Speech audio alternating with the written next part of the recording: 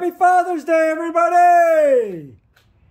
Second transmission we're looking at today. Got the 5000 down there. We're just finishing up on. Customer brought me this transmission. Hmm, why? Other than it being a rust bucket, and somebody's been into it before because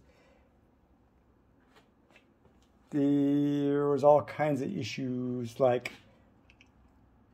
snap ring came off real loose. This is an aftermarket seal. You see how it just flaps around? That's not a good. That's why we use velvet drive seals. Okay. Uh, but what we found is a significant wear on the toofuses. Yes, the toofuses. Teeth. All right. They're starting to round off.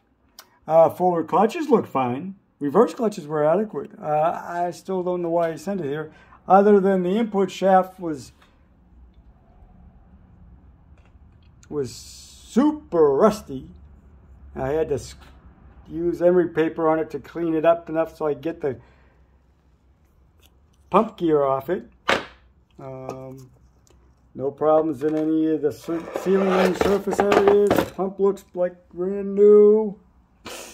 I don't know. So, well, whatever.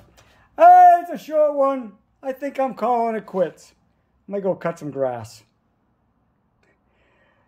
Again, happy Father's Day to y'all. I'll leave all the information how to contact me. I was talking to a gentleman this morning from Greece. He had a 73 series, which has been obsoleted for decades and decades and decades. About three decades, yeah. There you go. right. Have a good one, folks. Enjoy. Take care.